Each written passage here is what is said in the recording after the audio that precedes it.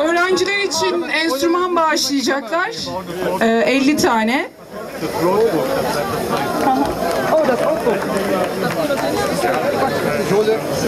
Ren,